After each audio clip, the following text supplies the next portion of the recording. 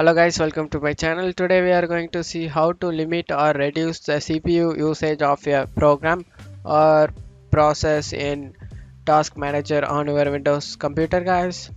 Let's jump straight into it guys.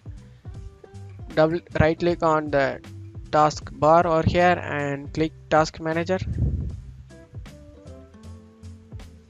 Go to Details tab just you want to right click the programs you are having the problem with and you might notice a little icon next to it. Right click on any for example i am doing it firefox. You whatever gaming programs you want to increase your cpu usage or your ram usage you just right click on it and click on set priority and click high or high or low or below normal or or above normal that's your choice. But uh, you can low click on low you can change it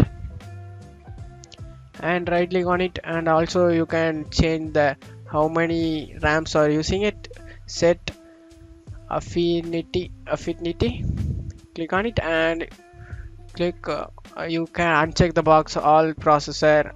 If you are using game playing games you can easily find your CPU are in use or not. You can and everything you need to check it and click OK or you can also reduce the GPU CPU RAM. You can also uncheck the box of this CPU one and all processor you can uncheck it. Click OK that's it guys. I hope this tutorial definitely helpful guys give me a like and subscribe. Thank you so much for watching my video